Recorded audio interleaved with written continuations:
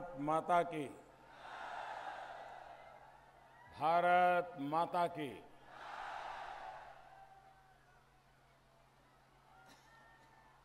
हम सुन रहा कि यहाँ के लोग सबके प्यार में यहाँ के लीची के मिठास समायल है।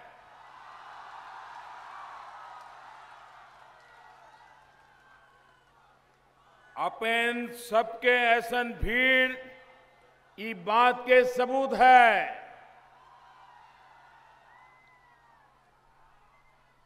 मुजफ्फरपुर शहीद खुदीराम बोस, जुब्बा सहनी, जैसन वीर के धरती है। ये धरती महान समाजवादी नेता और हमार सबके आदरणीय श्री जॉर्ज फर्नांडिस जी के कर्मभूमि रहल है। ऐसन महान विभूति सबके धरती के हम प्रणाम करे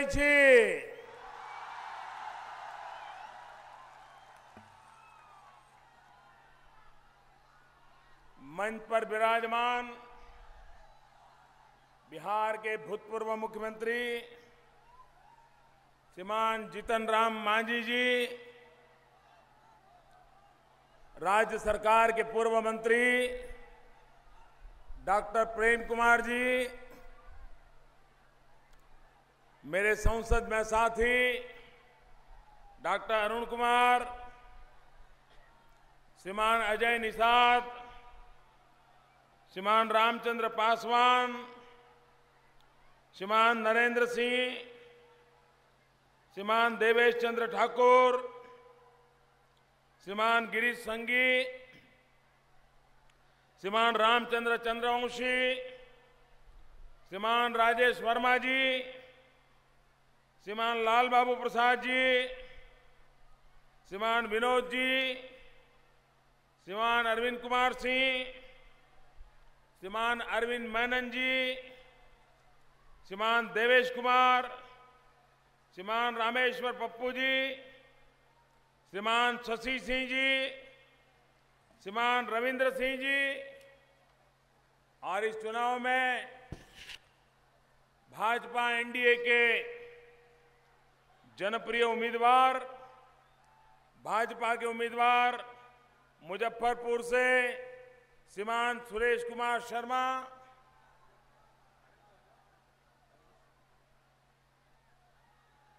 गायघाट से भाजपा के उम्मीदवार श्रीमती वीणा देवी। साहेबगंज से भाजपा के उम्मीदवार श्रीमान राजू कुमार सिंह। मीनापुर से भाजपा के उम्मीदवार श्रीमान अजय कुमार। पारू से भाजपा के उम्मीदवार श्रीमान अशोक कुमार सिंह। कुडनी से भाजपा उम्मीदवार श्रीमान केदार केदार प्रसाद गुप्ता। कांटी से हम पार्टी के उम्मीदवार श्रीमान अजीत कुमार। ओराई से भाजपा के उम्मीदवार श्रीमान राम सूरत राय। बोचहा से लोजपा के उम्मीदवार श्रीमान अनिल कुमार जी। और विशाल संख्या में पधारे हुए मुजफ्फरपुर के मेरे प्यारे भाइयों और बहनों।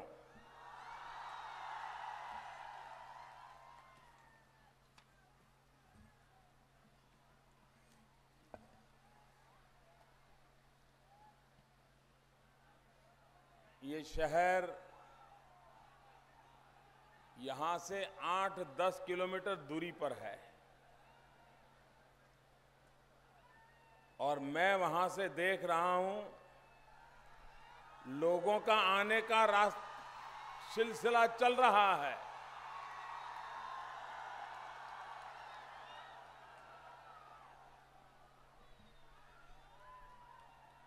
आज इस क्षेत्र में चार घंटे के बाद प्रचार अभियान समाप्त हो जाएगा।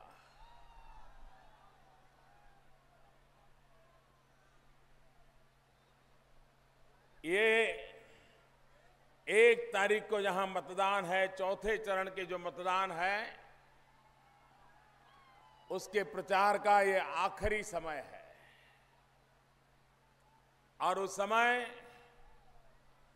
मुझे आपके आशीर्वाद पाने का सौभाग्य मिला, इसलिए मैं बिहार के नेताओं का बहुत बहुत आभारी हूँ कि मुझे आपके आशीर्वाद का सौभाग्य दिया।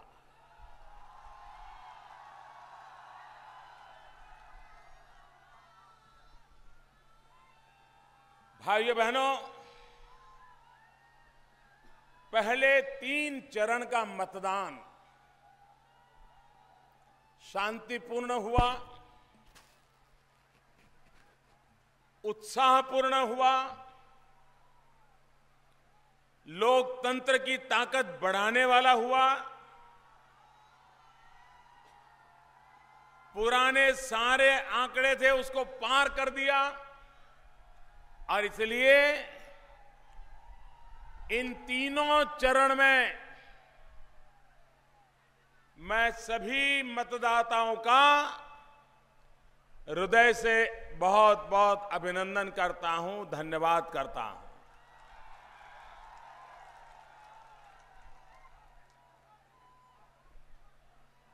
आमतौर पर चुनाव का एक चरण समाप्त हो, दूसरा समाप्त हो, तीसरा समाप्त हो। जो चुनाव अभियान करते हैं, वे एक शांति महसूस करते हैं कि चलो भाई, दो हो गया, तीन हो गया। लेकिन मैं हैरान हूँ जैसे जैसे चुनाव का एक एक चरण पूरा होता जाता है महास्वार्थ बंधन की परेशानी बढ़ती जाती है।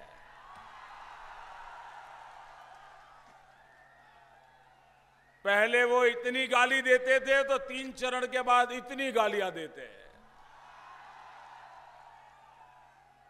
पहले इतना झूठा आरोप लगाते थे तो तीन चरण के बाद इतना झूठा आरोप लगा रहे हैं। पहले दो हाथ से कीचड़ उछालते थे। अब जो भी साधन मिले उसका उपयोग करते हुए कीचड़ उछाड़ने में लगे हुए हैं। लेकिन नीतीश बाबू, लालू जी, आप लिख करके रखो। आप जितना ज़्यादा कीचड़ उछालोगे, कमल उतना ही ज़्यादा खिलने वाला है।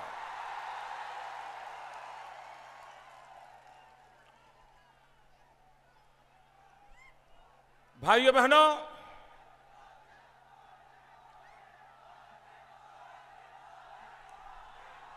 चुनाव एक लोकतंत्र का पर्व होता है। और लोकतंत्र के पर्व में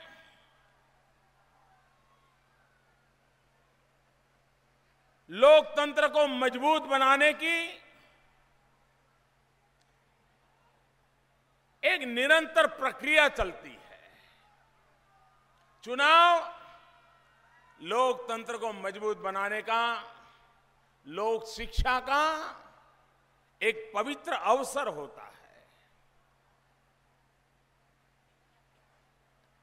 सार्वजनिक जीवन में काम करने वाले लोगों ने, राजनीतिक जीवन में काम करने वाले लोगों ने, शासन व्यवस्था से जुड़े लोगों ने, लोक शिक्षा का अविरत काम करते रहना, ये लोकतंत्र की मजबूती के लिए आवश्यक होता है।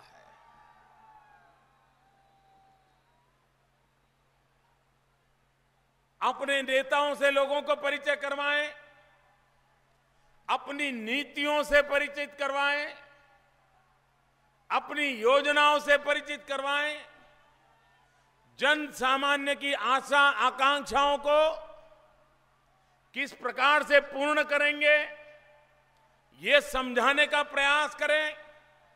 एक प्रकार से ये चुनाव के महीने, दो महीने का कालखंड एक ओपन यूनिवर्सिटी होता है, जहाँ पढ़े लिखे, अनपढ़, गाँव के गरीब, अमीर सब, हर किसी के सामने एक लोक शिक्षा का अभियान चलता है। और चुनाव में जो लोग सरकार में बैठे हैं, उनकी सबसे पहली जिम्मेवारी बनती है वो चुनाव में अपने काम का हिसाब दें। मुझे बताइए भैया, चुनाव में सरकारों ने अपने काम का हिसाब देना चाहिए कि नहीं देना चाहिए? हिसाब देना चाहिए ना? पल पल का हिसाब देना चाहिए। पाई पाई का हिसाब देना चाहिए। जब 2019 में लोकसभा का चुनाव होगा। और मैं जब उस समय आपसे लोकसभा के लिए वोट मांगने आऊँगा तो मुझे दिल्ली सरकार के काम का हिसाब देना पड़ेगा कि नहीं देना पड़ेगा? पाई पाई का हिसाब देना पड़ेगा कि नहीं देना पड़ेगा? पल पल के काम का हिसाब देना पड़ेगा नहीं देना पड़ेगा? और अगर मानो कोई काम छूट गया, रह गया, कठिनाई के कारण तो मुझे जनता को बताना पड़ेगा ना भाई ये दो काम रह गए, ये छूट गया है कहना पड़ेगा कि नहीं कहना पड़ेगा? मेरा अहंकार चल सकता है क्या? मेरा झूठ चल सकता है क्या? लोगों की आँख में धूल झोंकने का पाप चल सकता है क्या? ये लोकतंत्र है, ये खेल नहीं चल सकता। अब वक्त बदल चुका है, नौजवान जाग चुका है। वो सरकार चलाने का मौका देता है तो वो पल पल का हिसाब भी माँगता है पाई पाई का हिसाब भी माँगता है। भाइयों बहनों यहाँ पर इस चुनाव में एक महास्वार्थ बंधन चुनाव के मैदान में है, जिसमें कांग्रेस पार्टी मैडम सोनिया जी मैदान में है। इन्होंने बिहार में 35 साल राज किया है 35 साल। इसमें कई नौजवान ऐसे होंगे, जब उनकी सरकार चलती थी, कईयों का जन्म भी नहीं हुआ होगा। 35 साल तक राज किया है इन्होंने यहाँ पर। और दूसरे, ये बड़े भाई और छोटे भाई, लालू जी ने 15 साल राज किया और नीतीश बाबू ने 10 साल राज किया। इन्होंने 25 साल राज किया है और इन तीनों ने मिलाकर के साठ साल राज किया है, साठ साल। आप मुझे बताइए, पिछले साठ दिन से चुनाव का अभियान चल रहा है। इन्होंने साठ साल के अपने काम का हिसाब दिया। वो क्या किया, वो बताते हैं क्या? क्यों नहीं किया, वो भी बताते हैं क्या? मुझे बताइए, चुनाव में जो अपने काम का हिसाब न दे, इससे बड़ा कोई अहंकार होता है क्या? क्या अहंकार के लिए कोई और सबूत की ज़रूरत है क्या? और कोई सबूत की ज़रूरत है क्या? और नीतीश बाबू हमें कहते हैं कि मोदी तो बाहरी है बाहरी है। मैं जरा पूछना चाहता हूँ जी, क्या मैं बिहार का जो भारत का एक अंग है, एक सामर्थ्यवान अंग है, जिस बिहार के लोगों ने वोट देकर के मुझे प्रधानमंत्री बनाया है, वो बाहरी हो सकता है क्या? क्या मैं पाकिस्तान का प्रधानमंत्री हूँ क्या? क्या मैं बांग्लादेश का प्रधानमंत्री हूँ क्या? क्या मैं श्रीलंका का प्रधानमंत्री हूँ क्या? मैं हिंदुस्तान का प्रधानमंत्री हूँ कि नहीं हूँ? बिहार हिंदुस्तान में है कि नहीं है? ये कह रहे बाहरी है। मैं जरा नीतीश बाबू को पूछना चाहता हूँ। मैडम सोनिया जी भी दिल्ली में रहती है। उनको आप क्या कहोगे? बाहरी कहते हो कि बिहारी कहते हो? नहीं, जरा जवाब दो। बाहरी कहते हो कि बिहारी कहते हो? तो क्या उनके लिए भी आपका बाहरी का खेल है क्या? क्या प्रकार का चुनाव अभियान चला रहे हैं लोग? जनता को विकास के काम के लिए जवाब देने की ताकत नहीं है, इसलिए इस प्रकार से गुमराह करने के खेल खेले जा रहे हैं। भाइयों, बहनों, आप मुझे बताइए,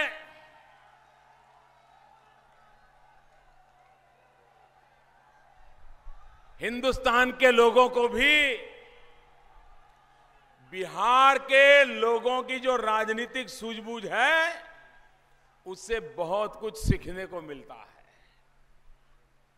ये बिहार ऐसा प्रदेश है, जब देता है तो छप्पर फाड़ के देता है। लेकिन जब लेता है तो चुन चुन करके साफ़ करके देता है। जब कांग्रेस का सितारा चमकता था, तब बिहार की जनता ने 35 साल तक बिहार में कांग्रेस को समर्थन किया। और हर बार यह आशा की कि इस बार कुछ अच्छा करेंगे, शिक्षा के लिए कुछ करेंगे दवाई के लिए व्यवस्था करेंगे, कमाई के लिए कुछ करेंगे। उन्होंने अपनी कमाई के लिए तो बहुत कुछ किया, लेकिन बिहारियों की कमाई के लिए कुछ नहीं किया। और उसका नतीजा यह हुआ कि जब जब बिहार की जनता को गुस्सा आया जब उन्होंने कांग्रेस से हिसाब मांगना शुरू किया और जब 35 साल के अपने कारोबार का हिसाब नहीं दे पाए तो ये बिहार की जनता ने 25 साल पहले कांग्रेस को यहाँ से चुन चुन करके साफ़ कर दिया। 25 साल हुए 25 साल भाइयों, ये बिहार की जनता ने कांग्रेस को पैर नहीं रखने दिया है पैर नहीं रखने दिया है ये बिहार की ताकत है। एक बार बिहार की जनता को धोखा किया पता चल गया तो बिहार की जनता कभी माफ़ नहीं करती है माफ़ नहीं करती। बाद में लालू जी आए जाति जा, भांति भांति के बड़े खेल खेलते रहे और ये इनके तो खेल इतने बड़े मशहूर रहते थे कि दिल्ली में भी अपने आप को बुद्धिजीवी मानने वाले, खैर खा कहने वालों की टोलियाँ लालू जी को कंधे पर लेकर के घूमने में मज़ा लेती थी। यहाँ तक वो धूल झोंकने में माहिर थे। बिहार के लोगों को पंद्रह साल तक धूल झोंकी। वे जेल कहे गए, उनकी पत्नी को भी उस लोगों ने स्वीकार कर लिया। इस आशा के स्वीकार कर लिया कि शायद ये बिहार के लिए कुछ करेंगे। लेकिन जब जब सच सामने आया, बिहार की जनता जाग गई और पंद्रह साल के उनके पापों का हिसाब मांगा और फिर जो उनको भगाया, जो भगाया, दस साल हो गए पैर नहीं रखने दिया। दस साल हो गए भाई। फिर नीतीश बाबू आए। जनता को लगा, भाई, ये अटल जी के साथ बैठे हैं, शायद अच्छा करेंगे। अटल जी के इनके पर आशीर्वाद है, शायद कुछ करके दिखाएँगे। बिहार के लोगों को अटल बिहारी वाजपेयी पर भरोसा था और उस भरोसे के कारण उनको अवसर दिया। लेकिन आज 10 साल के बाद वो हिसाब देने की स्थिति में नहीं है। उनको भी वही पापों के हिसाब देने की नौबत आ गई है। और इसलिए मेरे भाइयों बहनों, ये बिहार की जनता है जिन्होंने 35 साल तक बिहार को झेला, एक बार निकाला तो फिर आने नहीं दिया। जिनको 15 साल तक झेला, एक बार निकाला तो दोबारा घुसने नहीं दिया। और ये तीसरे की अब बारी है। लोग अब 10 साल में ही उनसे छुटकारा चाहते हैं। और इसलिए भाइयों बहनों, बिहार की जनता भावनाओं में बहने वाले लोग नहीं है। पक्का हिसाब किताब कर करके काम करने वाले लोग हैं। और मैं देख रहा हूँ, इस बार बिहार का भविष्य बिहार का नौजवान करना चाहता है। मुझे बताइए भाइयों बहनों आखिर सरकारें होती किस लिए है? क्या सरकार मौज मज़ा करने के लिए होती है क्या? क्या नेताओं को ऐशो आराम करने के लिए सरकार होती है क्या? क्या सरकारें अपने भाई भतीजावाद करने के लिए होती है क्या? अपने यार दोस्तों को संभालने के लिए होती है क्या? अरे लोग सरकार बनाते हैं, सरकार उनकी सेवक बन करके जनता जनार्दन के लिए खप जाए, इसलिए सरकार बनाते हैं। भाइयों बहनों अमीरों को सरकार की ज़रूरत नहीं होती है। अमीर के बेटे को पढ़ना है तो उसके तो घर टीचर लाइन लगा के खड़े हो जाते हैं गरीब को पढ़ने के लिए सरकारी स्कूल की ज़रूरत पड़ती है, सरकारी मास्टर जी की ज़रूरत पड़ती है, तब जाकर के गरीब के बच्चे की शिक्षा होती है। सरकार का एक काम होता है। भाइयों बहनों, अमीर अगर बीमार हो जाए तो हवाई जहाज़ लेकर के डॉक्टर आकर के खड़े हो जाते हैं। हवाई जहाज़ में उनको दुनिया के में कहीं पर भी लिया जा सकता है। गरीब का बच्चा बीमार होगा तो वो कहाँ जाएगा? अगर गरीब का बच्चा बीमार होता है तो उसको तो सरकारी अस्पताल पर ही भरोसा रखना पड़ता है, सरकारी डॉक्टर पर भरोसा करना पड़ता है, सरकारी दवाई पर भरोसा करना पड़ता है। गरीब के लिए तो ये सरकार प्राथमिकता होनी चाहिए, तब जाकर के भाइयों बहनों, गरीब का कल्याण होता है। और इसलिए भाइयों बहनों, सरकार उनके लिए होती है, जिसका कोई नहीं होता है।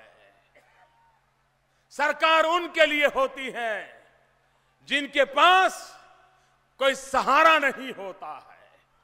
और इसलिए हम एक ऐसी सरकार बनाना चाहते हैं, जो सरकार गरीबों की ओर ध्यान दे, गरीबों की भलाई के लिए काम करे। भाइयों बहनों हमारे देश में जब श्रीमती इंदिरा गांधी जी थी, उन्होंने बैंकों का राष्ट्रीयकरण किया था। और ये कहा था कि ये सारी बैंकें धन्ना सेठों के कब्जे में है, बैंकों का पैसा धन्ना सेठों के कहीं काम आता है, बैंक गरीब के लिए काम नहीं आती है, इसका राष्ट्रीयकरण कर दिया जाए और बैंक गरीबों के लिए खोल दी जाए। ऐसा वादा किया था। इंदिरा जी को गए भी तो सालों बीत गए, दशके दशक बीत गए, लेकिन बैंक के दरवाजे तक कोई गरीब नहीं जा सकता था। कोई बैंक वाला गरीब की तरफ़ देखने को तैयार नहीं था। हम आए, हमने निर्णय किया, ये बैंक गरीब के काम आनी चाहिए, बैंक गरीब के लिए होनी चाहिए, और भाइयों बहनों हमने जनधन अकाउंट खोलने का अभियान चलाया। बैंक के लोगों ने भी हमारे साथ कंधे से कंधा मिलाकर काम किया।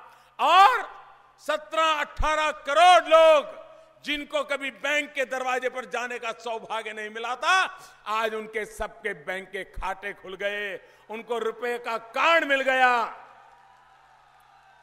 और मेरे देश के गरीबों की अमीरी देखिए। अमीरों की गरीबी तो बहुत देखी है भाइयों, लेकिन मैंने तो गरीबों की अमीरी को देखा है। सरकार ने तो कहा था कि ज़ीरो बैलेंस से बैंक अकाउंट खोलेंगे। एक भी पैसा नहीं होगा तो भी बैंक अकाउंट खोलेंगे। लेकिन मेरे देश के गरीबों ने पच्चीस हज़ार करोड़ रुपया से ज़्यादा रकम बैंकों में जमा करवाई और खाते खुलवाए। ये मेरे गरीबों की अमीरी है। और इसलिए भाइयों बहनों, और आज, अभी जब हमने प्रधानमंत्री मुद्रा योजना लाए, जब प्रधानमंत्री मुद्रा योजना लाए, आपको हैरानी होगी भाइयों, हमारे देश में सबसे ज़्यादा रोज़गार देने का कोई काम करता है। तो मध्यम वर्ग और निम्न मध्यम वर्ग के जो छोटे छोटे लोग होते हैं, अपना छोटा मोटा कारोबार चलाते हैं, वो रोज़गार देता है। अखबार बेचने वाला भी पाँच सात नौजवानों को रोज़गार देता है। दूध बेचने वाला भी दो तुम दूध बेचने वालों को रोज़गार देता है। चाय बेचने वाला भी चार, छह जवानों को रोज़गार दे। गरीब आदमी सब्ज़ी बेचने वाला होगा, वो भी एक आध आदमी को रोज़गार देता है। लेकिन उनको बेचारों को पैसा चाहिए तो साहूकार के पास जाना पड़ता है और साहूकार चमड़ी उधेड़ दे ऐसा ब्याज लेता है, चमड़ी उधेड़ दे और वो बेचारा व्यापार में अपना आधी कमाई तो ब्याज में ही देता रहता है और कभी कर्ज से बाहर नहीं आता है।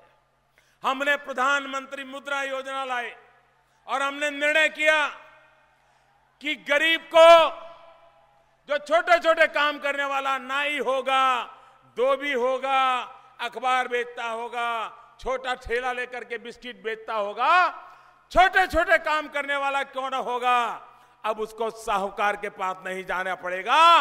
हम उसको बैंक से पैसा देंगे, वो ब्याज के चक्कर से निकलेगा और वो अपना व्यवसाय विकास करना चाहता है तो उसको पैसों की कमी नहीं आनी चाहिए। अभी तो योजना लागू की है, अभी तो शुरू हुई है, मुश्किल से चार महीने हुए। अब तक भाइयों बहनों, ऐसे छोटे छोटे लोगों को, साठ लाख लोगों को, ये छोटा आंकड़ा नहीं है, साठ लाख लोगों को करीब करीब सड़तीस हज़ार करोड़ रुपए का लोन दे दिया गया है। सड़तीस हज़ार करोड़ रुपया और भाइयों बहनों, इसमें ज़्यादातर लोग बहुत ही छोटी रकम लेने वाले हैं। किसी को दस हज़ार चाहिए, किसी को पंद्रह हज़ार चाहिए। ये दन्ना सेटों वाला खेल नहीं है। और आज वो अपना कारोबार चला रहा है। भाइयों बहनों, इसमें जो बिहार को मिला है, वो तो साहब, आप देखिए अकेले बिहार में सवा तीन लाख लोगों ने अकेले बिहार में सवा तीन लाख लोगों ने पिछले तीन चार महीनों के भीतर भीतर इन बैंकों का लाभ लिया और करीब एक हज़ार एक सौ करोड़ रुपया आज बिहार के इन सामान्य लोगों के पास गया और उन्होंने अपना कारोबार बढ़ाने में काम किया। मुझे बताइए ये गरीबों की भलाई का काम हुआ कि नहीं हुआ? ये गरीब साहूकारों के चंगुल से मुक्त हुआ कि नहीं हुआ? ये हमें और आगे बढ़ाना है। मेरा गरीब से गरीब बिहारी भी स्वाभिमान के साथ खड़ा हो, इसके लिए बैंक आज गरीबों की सेवा में हमने खोल दिए। इस प्रकार से गरीबों की सेवा होती है। आप लोगों ने, जब लोगों ने सुना कि हम एक रुपये का बीमा उतारेंगे, एक रुपया। गरीब एक महीने का एक रुपया दे, बारह महीने के बारह रुपया। कोई गरीब दे सकता है और दो लाख रुपए का बीमा आज उसके जीवन में सुरक्षा का एहसास दिला रहा है।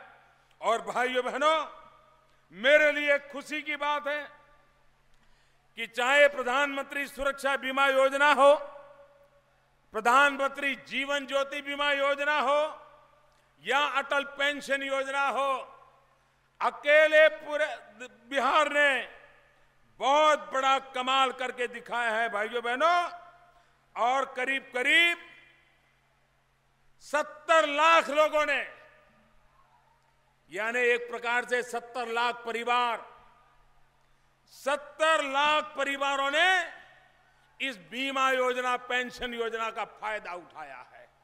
इतने कम समय में इतना बड़ा फ़ायदा लेने का काम बिहार के जागरूक मेरे मातृ साथियों ने किया है। और इसलिए भाइयों बहनों, अगर हमें बिहार को आगे ले जाना है तो बाकी सारी बातों से हमने ऊपर उठना पड़ेगा। अपने पराये के चक्कर से निकलना पड़ेगा। भाई भतीजावाद से बाहर आना पड़ेगा। एकमात्र जड़ी बूटी है जो हमें बचा सकती है, उस जड़ी बूटी का नाम है विकास। बिहार को अगर आगे बढ़ाना है तो एक ही जड़ी बूटी काम आने वाली है विकास। और इसलिए मेरे भाइयों बहनों, मैं आपसे विकास के लिए वोट मांगने के लिए आया हो। देश को बचाने के लिए हमने भ्रष्टाचार के खिलाफ लड़ाई छेड़ी थी। पिछले चुनाव में मैंने वोट मांगा था आपसे।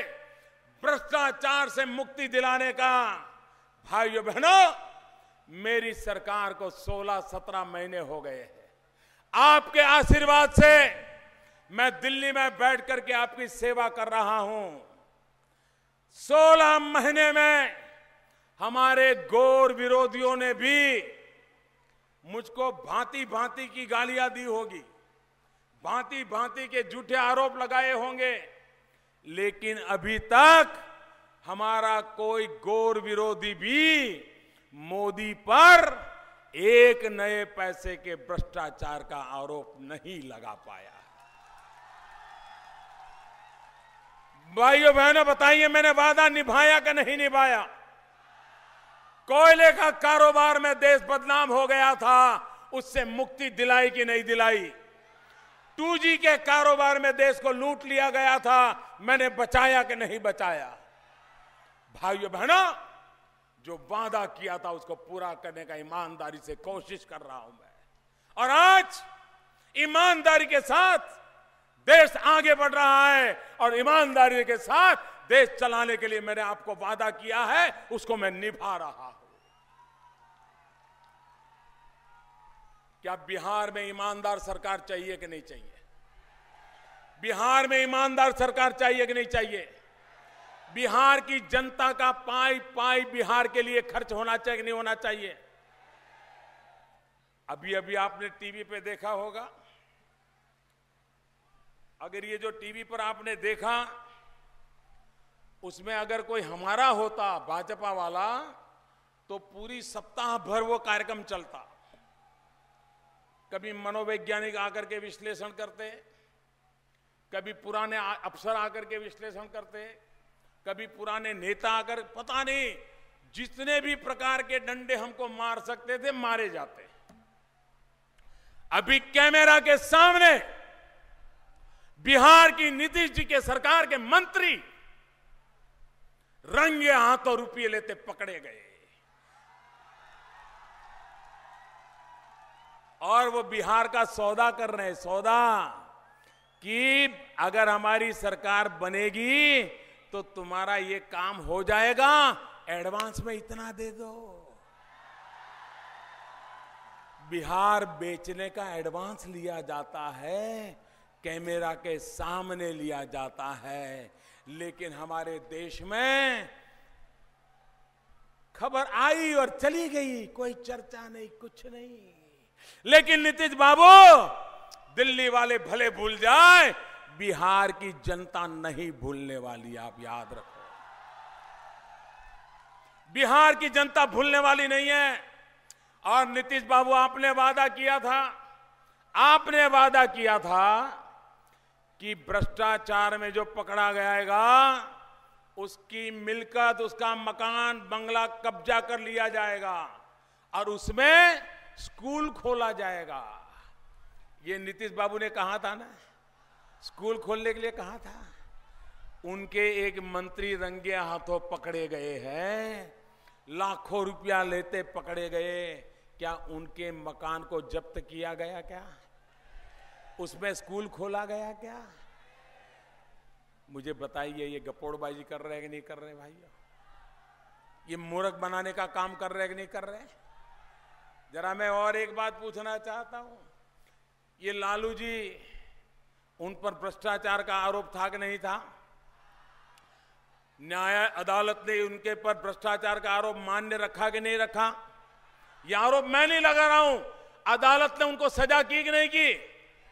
अभी जेल से वो पैरोल पर आए हैं कि नहीं आए हैं? क्या नीतीश बाबू, उनकी संपत्ति आपने जब्त की क्या? उनका बंगला जब्त किया क्या? उसमें स्कूल खोला क्या?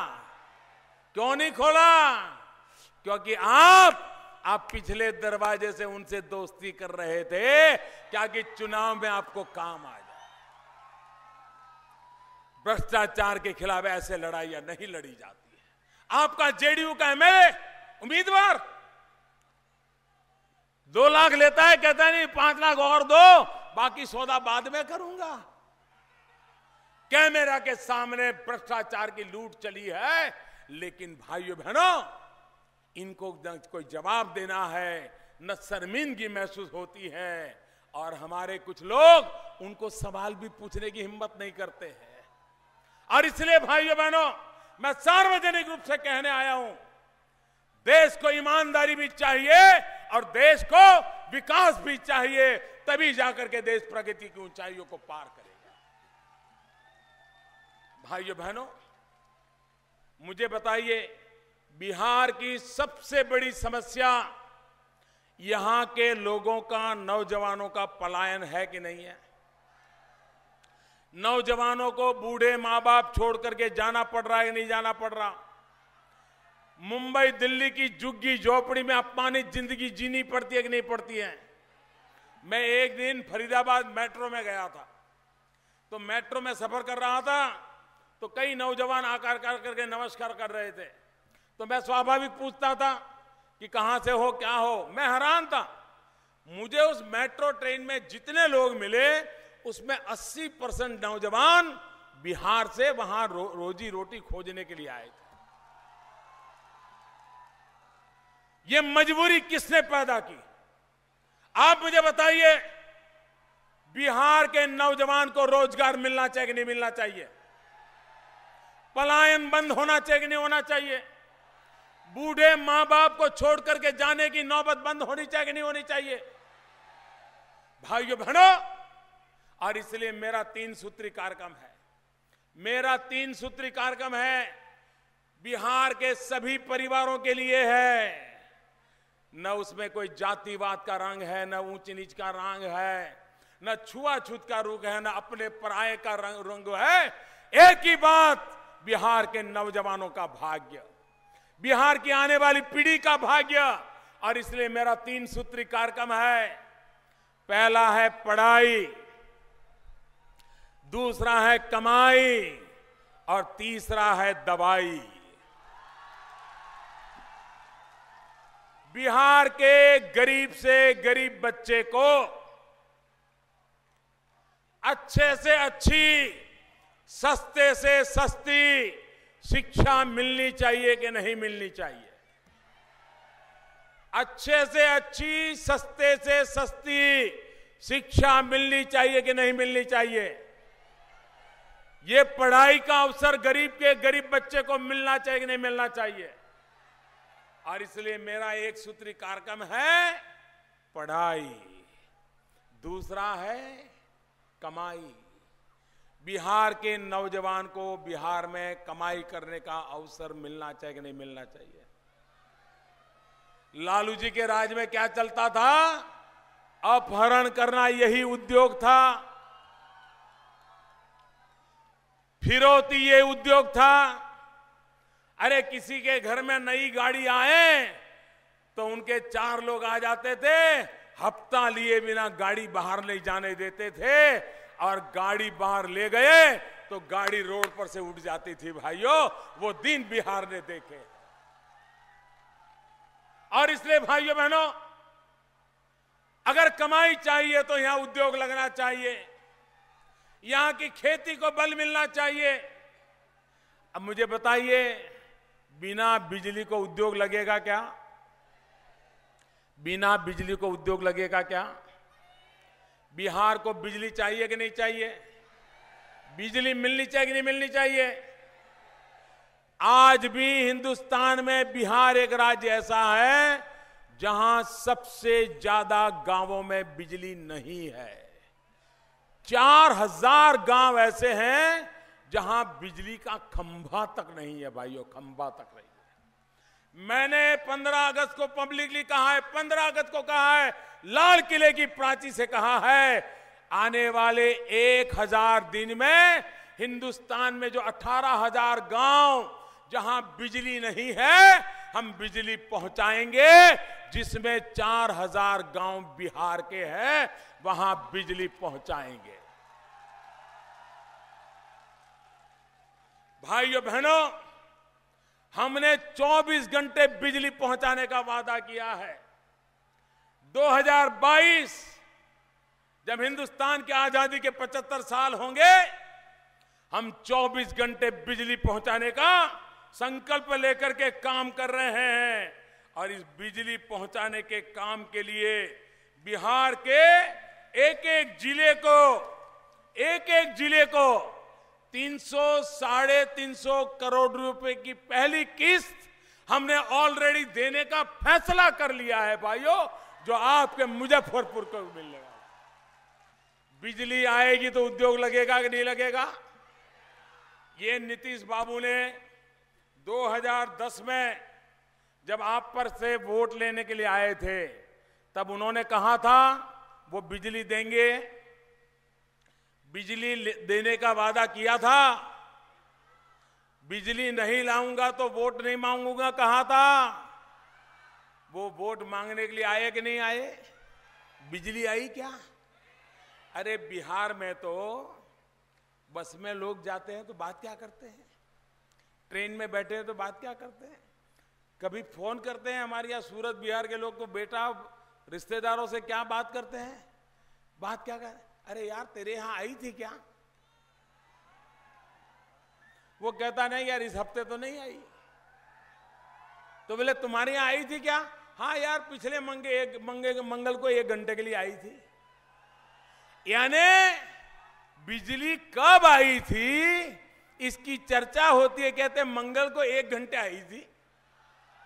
ये तो इन्होंने हाल करके रखा है, बिजली ला नहीं पाते और वोट मांगने के लिए चले आए हैं।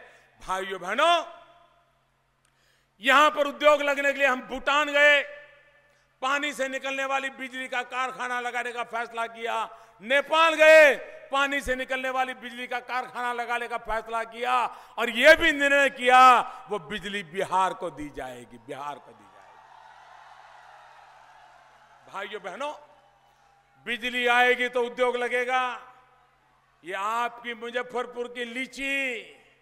अगर बिजली होती और लीची को संभालने के लिए व्यवस्था होती लीची के प्रोसेस के लिए व्यवस्था होती तो यहाँ के किसान को कभी दुखी होने की नौबत नहीं आती, भाइयों, नौबत नहीं आती। लेकिन उनको करना नहीं है। मैं तो हैरान हूँ।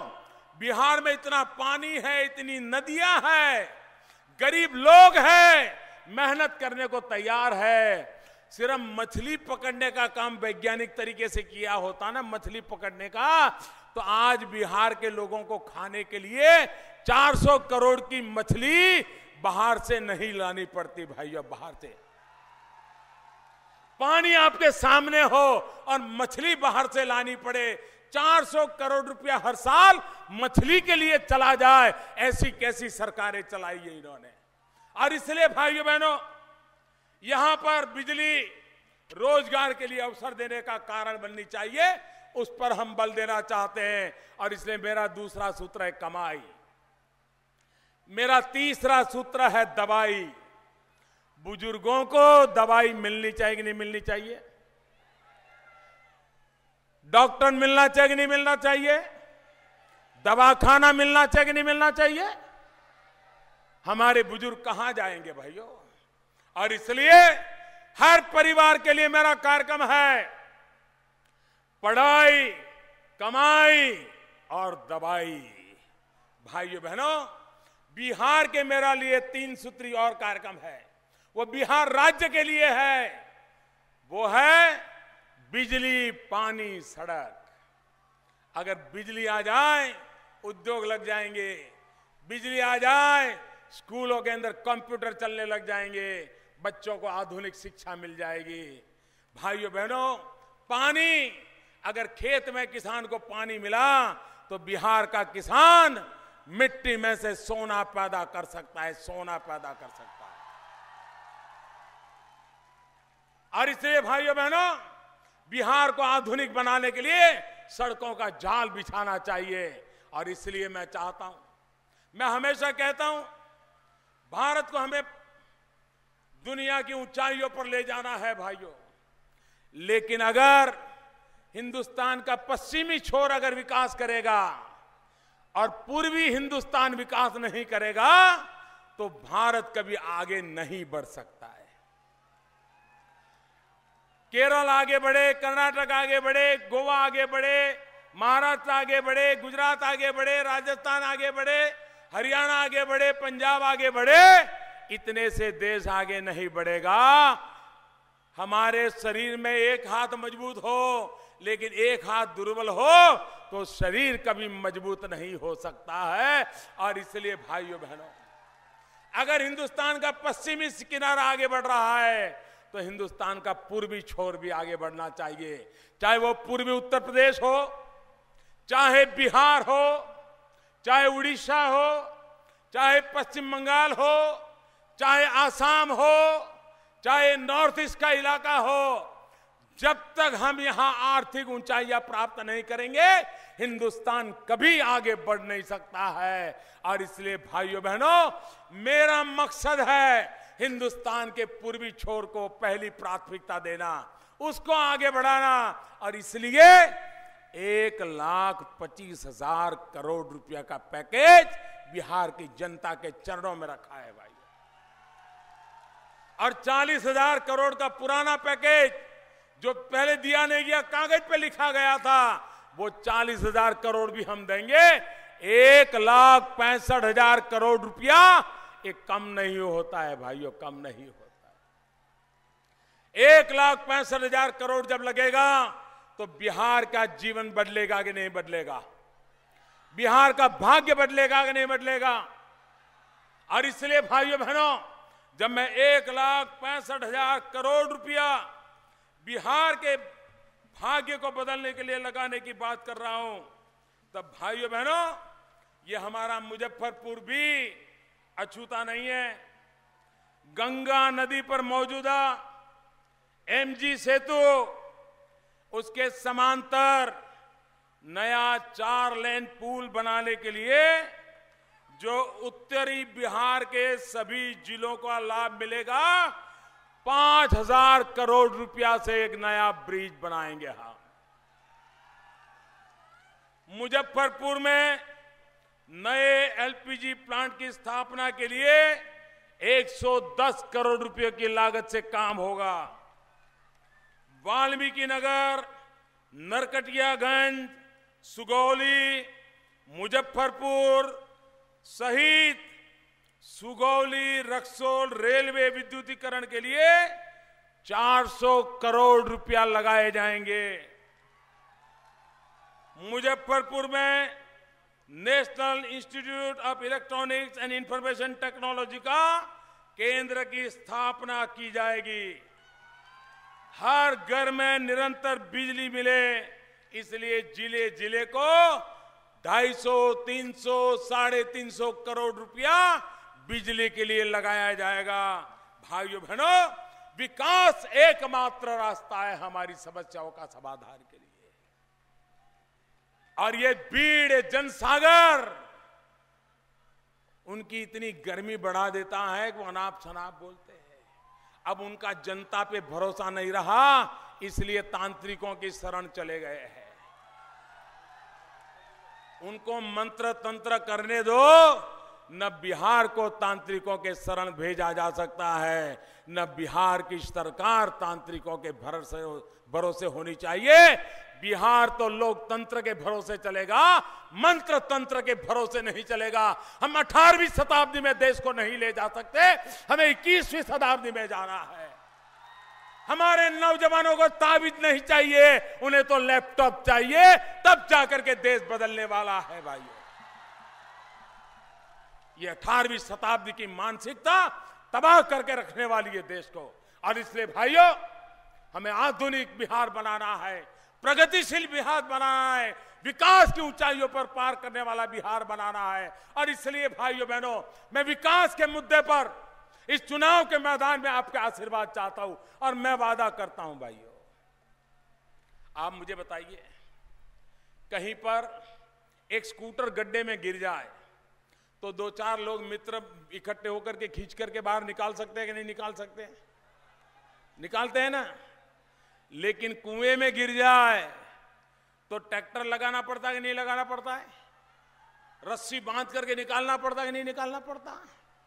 ये बिहार ऐसे गड्ढे में है, ऐसे गड्ढे में है कि एक इंजन से बिहार गड्ढे से बाहर नहीं निकलेगा।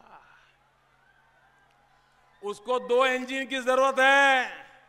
एक बिहार सरकार का इंजन और दूसरा दिल्ली सरकार का इंजन ये दो इंजन लगेंगे, तब जाकर के इतने बड़े गड्ढे में से बिहार आएगा। और इसलिए भाइयों बहनों डबल इंजन लगाने के लिए मैं आपके पास आया हूँ। दिल्ली सरकार का इंजन लग जाए और बिहार में आप ऐसी सरकार बनाइए, वो इंजन भी लग जाए तो आप देखिए बिहार गड्ढे में से बाहर आता है कि नहीं आता है। और एक बार गड्ढे में से आ गया तो बिहार नई ऊंचाइयों को पार कर लेगा भाइयों। और इसलिए मैं आपसे आशीर्वाद मांगने आया हूँ। इतनी भारी संख्या में आकर के आपने आशीर्वाद दिया। मैं आपका बहुत आभारी हूँ। भाइयों बहनों, पहले चरण से दूसरे चरण में मतदान ज़्यादा हुआ। दूसरे चरण से तीसरे चरण में मतदान ज़्यादा हुआ। अब चौथे चरण की बारी है। सारे रिकॉर्ड तोड़ के मतदान करोगे? ज़्यादा से ज़्यादा मतदान होगा। लोकतंत्र में मतदान करना हमारा दायित्व है। और इसलिए पहले मतदान करेंगे, बाद में जलपान करेंगे। पहले मतदान, फिर जलपान। हर घर पहुँच करके नौजवानों, अधिकतम लोगों का मतदान करवाइए, शांतिपूर्ण मतदान करवाइए। और ये लोकतंत्र का उत्सव बन रहा है। हर गाँव में लोकतंत्र का उत्सव बन जाए, यही मेरी शुभकामना है बहुत बहुत धन्यवाद। सारे हमारे उम्मीदवार वगैरह आ जाए, मेरे साथ मुट्ठी बंद करके बोलिए, भारत माता की। सारे नेता लोग आ जाए। माजी साहब, आगे आ जाइए। अरुण जी कहाँ गए? पासवान जी कहे गए? भारत माता की। भारत माता की। भारत माता की। बहुत बहुत धन्यवाद।